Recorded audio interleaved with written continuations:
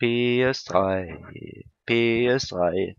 Oh, moin Leute, was geht? Mein Name ist YouTube Gamescom auf der Playstation 3 und willkommen zu einem neuen Video von mir. Ich begrüße euch wieder mal ganz herzlich zu einem neuen Projekt von mir. Ähm, was heißt Projekt? Äh, zu einem neuen Video, Green Run heute, äh, heute. Der Zombie-Modus. Spiele ich ja eigentlich nicht so oft. Und heute habe ich natürlich in diesem Video ein kleines Thema vorbereitet. Äh, und zwar das Thema Wisst ihr es? PlayStation 4 von Sony.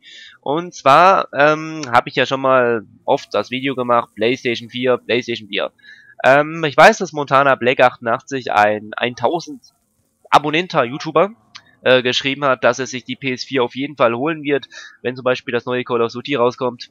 Aber für mich ist das natürlich jetzt inzwischen noch kein Thema.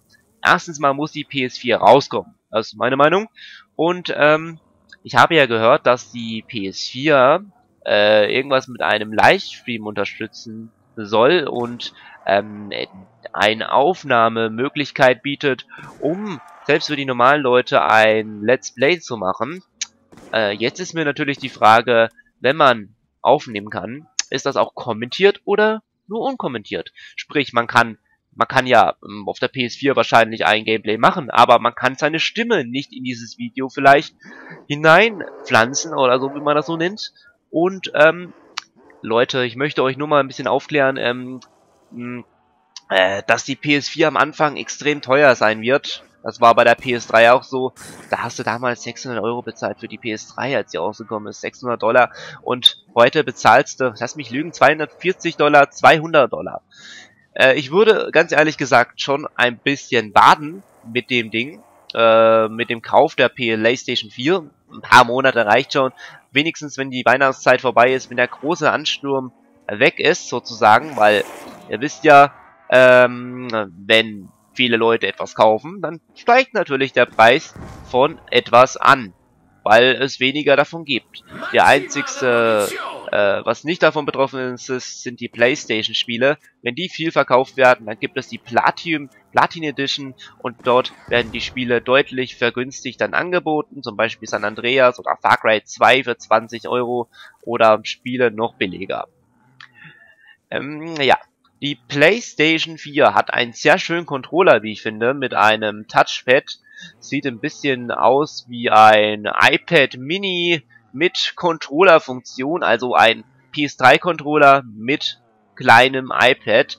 Das können wir jetzt schon mal ganz klar deuten. Das heißt, wir müssen unseren kleinen, klobigen Finger benutzen, unseren Zockerfinger, um die PS4 zu benutzen. Ich weiß aber nicht, was wir damit, was wir damit steuern könnten, aber ich hätte da schon eine Idee, mit was man, äh, für was das Touchpad beim Controller gedacht ist. Und zwar, wenn man im Menü ist, kann man wahrscheinlich ein bisschen rüber scrollen.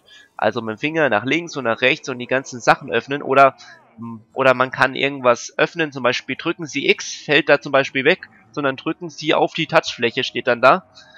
Das wäre ja mal eine geile Sache, muss ich sagen.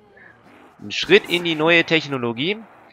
Äh, wie die PS4-Spiele aussehen, weiß ich noch nicht. Äh, ob die auch als CD dann sind, ich habe da keinen Plan. Ich denke schon mal, Vielleicht gibt es dann so kleine, so kleine Chips oder so, die man dann benutzen muss. Ah, scheiß Zombies! Und dann reinschieben muss. Oh Mann, ich hasse das Spiel. So einmal oder zweimal müssen die mich nur kratzen, dann bin ich schon tot, Mann. Oh, blöde Sache, blöde Sache. Ja, so sieht das auf jeden Fall aus. Ich sage jetzt erstmal ciao, bis zum nächsten Mal. Euer YouTube Gamescom auf der Playstation 3. Ciao! Das war das Update von der PS4.